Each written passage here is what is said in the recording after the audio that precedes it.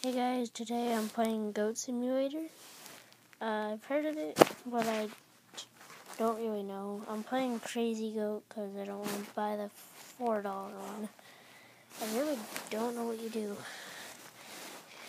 Okay, so I'm just a goat. Oh, oh, oh, whoa. I, oh, you, what? What? What?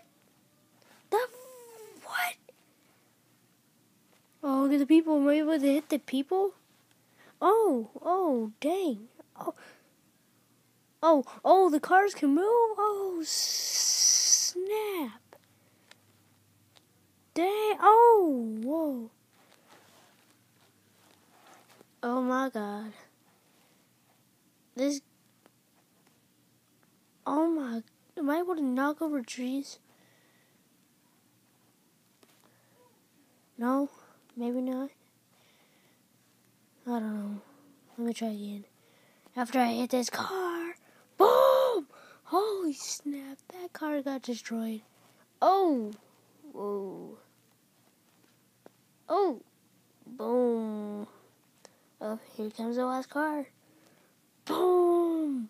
Boom. Oh, I got 20 more seconds. What? That's not fair.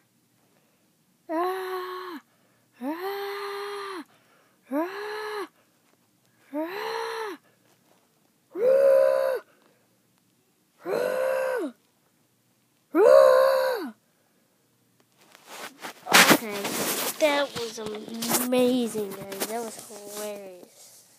Um, tell me if I if you like this video and if you like this game. It is just surprising that Tiny Goat can destroy pretty much half a city.